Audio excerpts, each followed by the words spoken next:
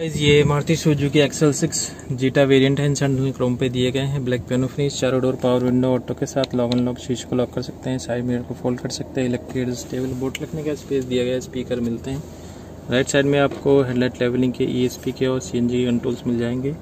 Engine start stop button chrome finish के साथ right side में ए सी एम में टेम्परेचर क्लॉक किलोमीटर बताएगा। कुछ वार्निंग लाइटें दी गई हैं।